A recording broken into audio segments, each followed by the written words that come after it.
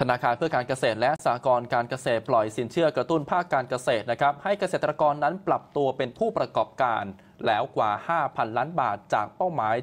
7,200 ล้านบาทครับในการเปิดตัวโครงการสินเชื่อ 1 ตำบล 1 SME เกษตร เพื่อสร้างความยั่งยืนของภาคเกษตรไทย นายสมคิดจาตุศรีพิทักษ์รองนายกรัฐมนตรี ระบุว่าพอใจการเปลี่ยนแปลงของเกษตรกร หลังกังวลต่อสัญญาณการลดลงของประชากร และผลผลิตจากภาคการเกษตร จากร้อยละ 40 เหลือร้อยละ 8 ของ GDP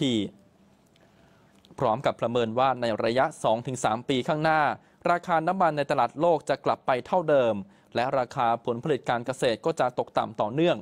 จึงจำเป็นจะต้องกระตุ้นให้ปรับตัวโดยการเลิกปลูกพืชเชิงเดี่ยว ให้เป็นแบบหลากหลายมีกลยุทธ์ แปรรูปเพื่อเพิ่มมูลค่าสินค้า ตลอดจนสร้างเรื่องราวของผลิตภัณฑ์ เพื่อเชื่อมต่อกับการท่องเที่ยว โดยรัฐบาลอนุมัติวงเงิน 72,000 ล้านบาทเมื่อ 2 เดือนก่อนนะครับ เพื่อสร้างผู้นำเกษตรกรในท้องถิ่น เป็น Smart Farmer สนับสนุนการปรับโครงสร้างภาคการเกษตร และทำให้ชีวิตของเกษตรกรดีขึ้นอย่างยั่งยืน พร้อมกับเตรียมประสานกระทรวง ICT และสถาบันการศึกษา จัดอบรมเกษตรกร เน้นการขายผลผลิตผ่านช่องทาง e-commerce ขณะที่นายลักษณ์วัจนานวัฒน์ผู้จัดการธนาคารเพื่อการเกษตร และสหกรณ์การเกษตรหรือทกสกล่าวว่าขณะนี้ธนาคารได้ปล่อยสินเชื่อดอกเบี้ยต่ำ ให้กับผู้ประกอบการ SME เกษตรไปแล้วกว่า 4,800 ราย คิดเป็นวงเงินกว่า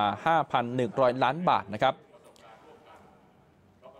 ทุกตำบลนนั้นจะต้องมีผู้ประกอบการ SME เกษตรอย่างน้อย 1 ราย เพื่อเป็นตัวอย่างให้กับเกษตรกรปรับตัว พัฒนาผลผลิต หรือแปรรูปผลิตภัณฑ์ ให้เป็นที่ต้องการของตลาด ซึ่งจะกระตุ้นให้เกิดการปรับโครงสร้างภาคการเกษตรของไทยครับ